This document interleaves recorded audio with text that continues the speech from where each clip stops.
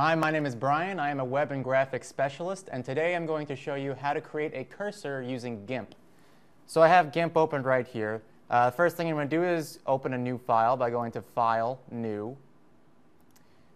And then this dialog box will open that says Create a New Image. A basic cursor is 32 by 32 pixels. So I'll type that into here, the width as 32 and the height as 32.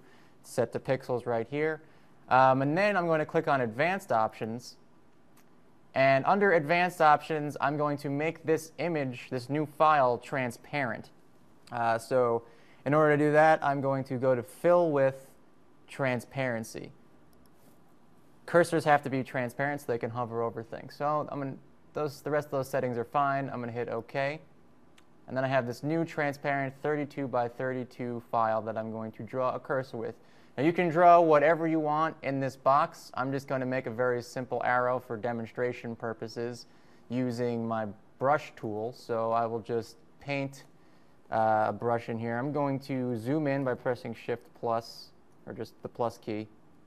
Uh, okay. View. Zoom. Uh, just draw a, a simple arrow